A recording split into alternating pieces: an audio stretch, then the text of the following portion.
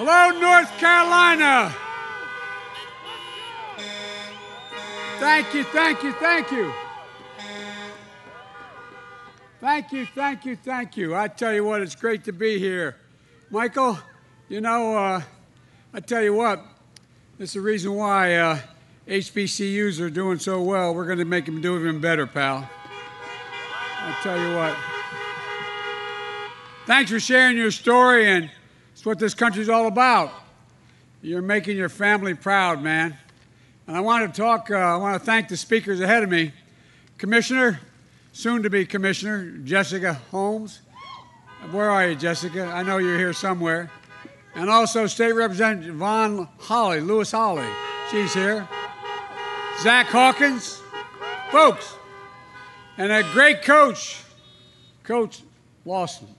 I tell you what, my granddaughter's with me today, and uh, she went to a school that Coach Lawson uh, went to for a little while in Washington.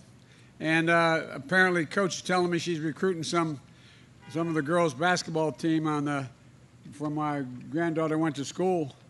And she showed me, Coach, she showed me uh, a, uh, a video you were doing for your team where you made the distinction between competing and winning, the heart of winning, competing, and uh, you talked about, though, working hard and competing.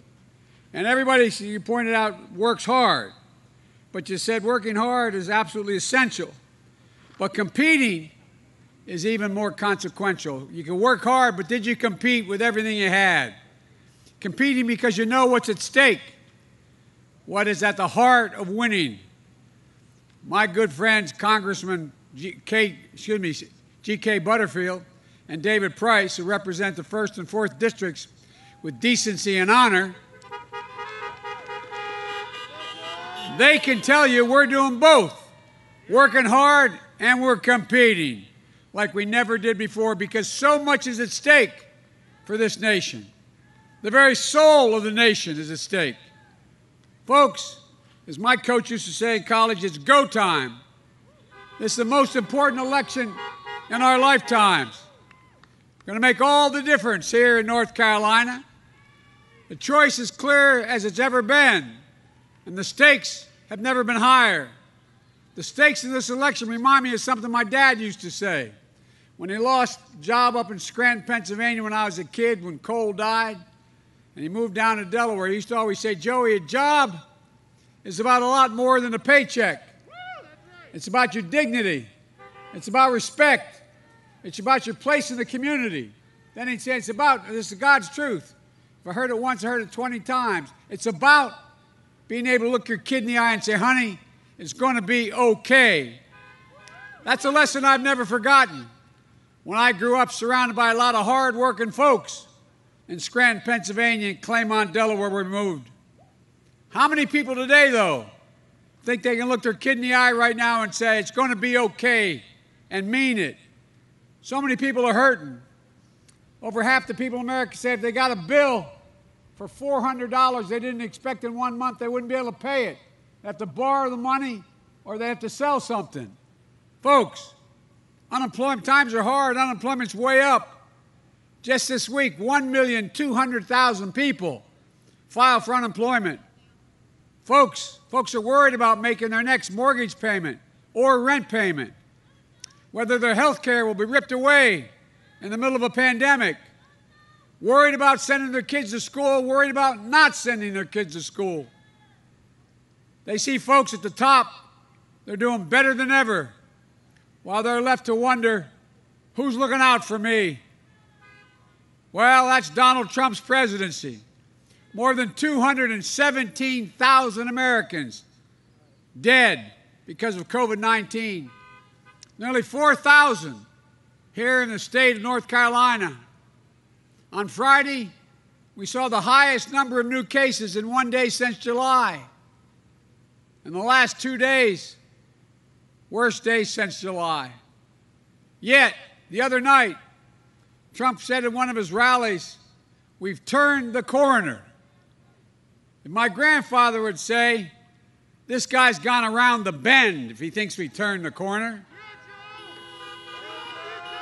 turned the corner. Things are getting worse. He continues to lie to us about the circumstances. Experts say we're likely to lose as many as 200,000 additional lives nationwide between now and the end of the year. All because this president cares more about his Park Avenue perspective on the world, the stock market, than he does about you. Because he refuses to follow the science. It's estimated that if we just wore masks, we just wore masks, we'd save between now and the end of the year 100,000 lives. His own head of the CDC said that. And you know what? What's really sad about this? The president knew how dangerous this virus was all the way back in January. And he hid it from the country. He's on record. He told Bob Woodward in a taped interview that the disease was deadly, much worse than the flu. And here's what he did. According to the New York Times, three, four days ago, his administration gave Wall Street investors a head up, heads up, but he didn't tell us just his friends on Wall Street. That's why they made so much money by, quote, selling short. Well, who got sold short? Y'all got sold short. And you know what's coming? But what happened to the rest of us? He tried to claim with Woodward he didn't want to panic the American people. The American people do not panic. Trump panicked.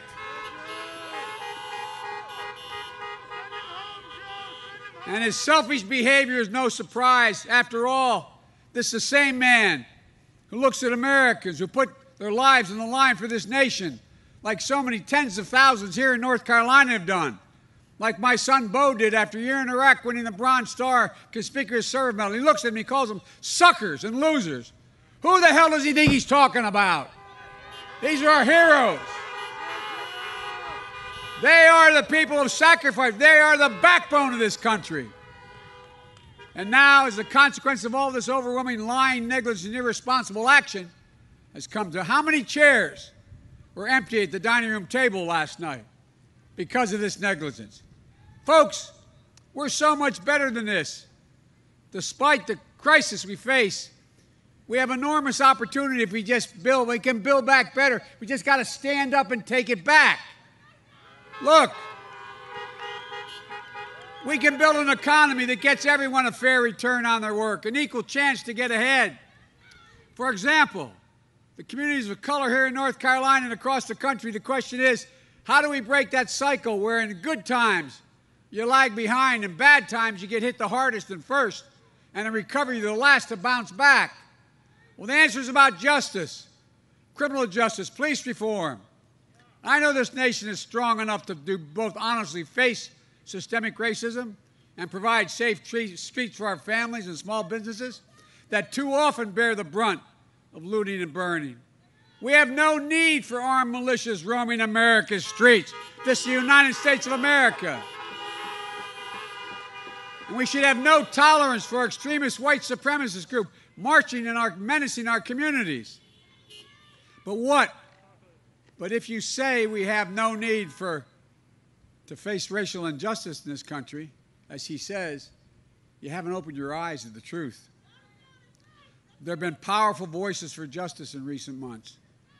George Floyd's six year old daughter, who I met with in the family, I knelt down to say hi to her, and she looked at me and said, Mr. Vice President, Daddy changed the world. Daddy changed the world. Jacob Blake's mother, with whom I met, since violence didn't reflect her son, and this nation needs healing, and then said she prayed for the police officers. Doc Rivers, a basketball coach, choking back tears when he said, We're the ones getting killed. We're the ones getting shot. We've been hung. It's amazing why we keep loving this country and this country doesn't love us back. Think about that. Think about what it takes to be a black person to love this country today as it does. It's deep love for this country. And for too long, it hadn't been recognized. We need leadership that de escalates tensions, opens lines of communication, and brings us together to heal and to hope. As president, that's precisely what I'll do. But true justice is also about jobs, good paying jobs, financial stability.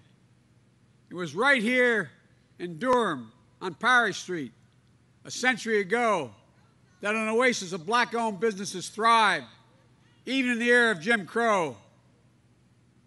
Parrish Street was one of the first examples of a flourishing black middle class community in America.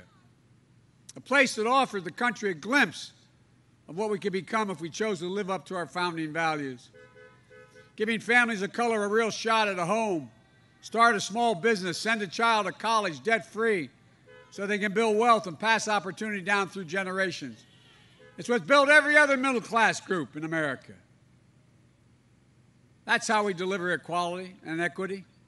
Another example more and more women are dropping out of the workforce in this recession, whether in cities or in suburbs. I have a plan to deal with this pandemic responsibly testing, tracing, masking, not politicizing a race for a vaccine, planning for its safe and equitable distribution, providing funding for PPE and other resources for schools to reopen safely, easing the caregiving crisis so many families are experiencing, squeezed between raising your kids and caring for an aging loved one, and protecting your health care. In the middle of this pandemic, why do Republicans have the time to hold a hearing on the Supreme Court instead of addressing the significant economic needs of local communities?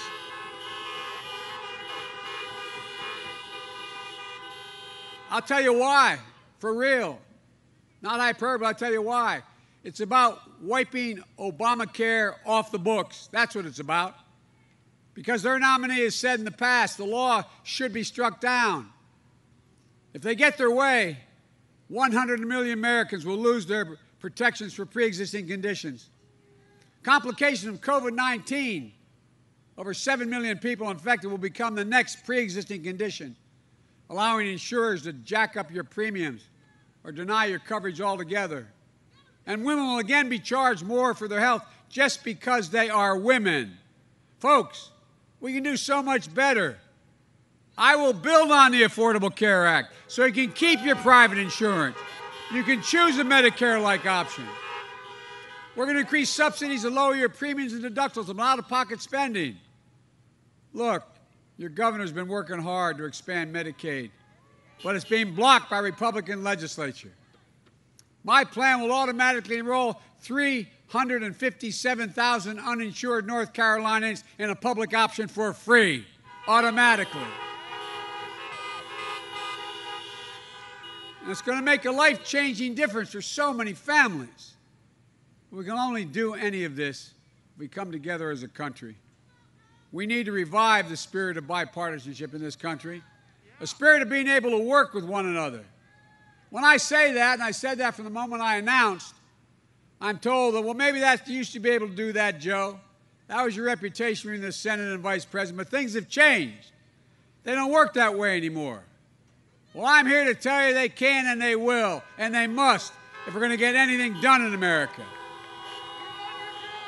Folks, I'm running as a proud Democrat, but I will govern as an American president. No red states, no blue states, just the United States. I promise you. I'll work as hard for those who don't support me as those who did. That's the job of a president a duty to care, to care for everyone in America. Folks, and you too have a sacred duty to vote and it matters.